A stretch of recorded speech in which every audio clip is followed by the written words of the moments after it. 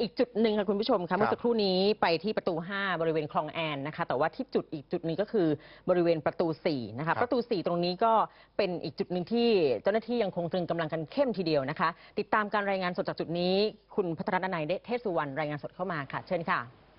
ครับคุณสุทธิวัฒน์คุณวรรณศิริครับนอกเหนือจากจุดบริเวณประตู 6 ที่คุณเยาวลักษณ์ได้ปักหลักรายงานอยู่ณขณะนี้นะครับจุดที่ผมยืนอยู่ขณะนี้ก็คือจุดบริเวณประตู 4 และประตู1นะครับยังพบว่ามีเจ้าหน้าที่ตำรวจมาคงปักหลักดูแลความเรียบร้อย ซึ่งบรรยากาศโดยรวมณขณะนี้ก็ยังคงเป็นไปด้วยดีครับไม่มีการประทะใด ๆ เกิดขึ้นทั้งสิ้นครับ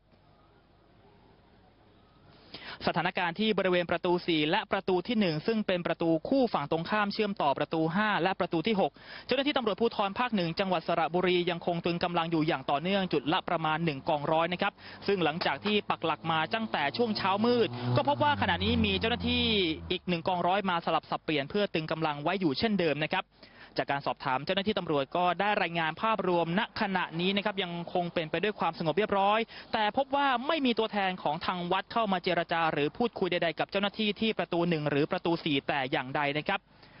ส่วนจุดนี้นะครับขั้นตอนต่อไปจะมีการดำเนินการอย่างไรเจ้าหน้าที่นั้นไม่ขอให้ข้อมูล เพราะว่าต้องรอคำสั่งจากทางส่วนกลาง ทราบเพียงขณะนี้ยังคงมีคำสั่งให้ตรึงกำลังดูแลความสงบเรียบร้อยในพื้นที่ต่อไป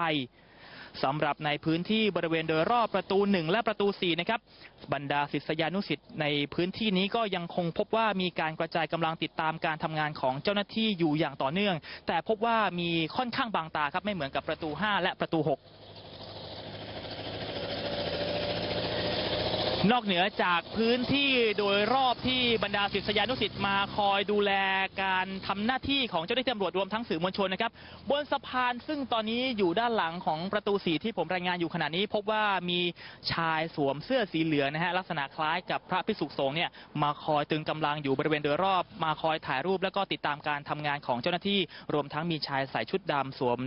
แว่นดำแล้วก็ใส่ผ้าคาดหน้าติดตามอยู่ด้วยเช่นกันครับคุณวรรณศิริคุณสุทธิวัฒน์ครับ